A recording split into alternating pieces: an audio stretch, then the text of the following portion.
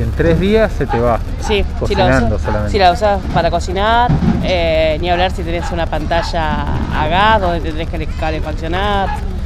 Y el tema es que este barrio tiene muchísimo tiempo, que supuestamente ya está regularizado, pero no, no, no, no, no pasa nada. O sea, ni siquiera los- están los postes de luz y todo, pero no, no está la, la bajada de, de- de luz para, para las familias.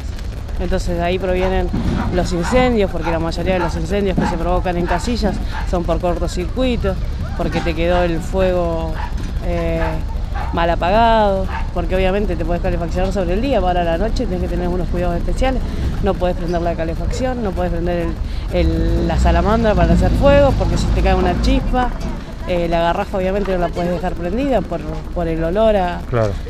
Eh, si bien la, la mayoría de las casillas están abiertas y todo eso, no, no te da la, la respiración que necesitas.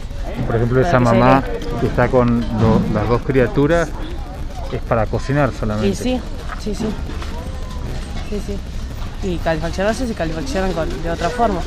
De- con, el- con la leña, que aparte es carísima la leña. Vos fíjate que, que siempre pasa lo mismo, o sea, llega el invierno y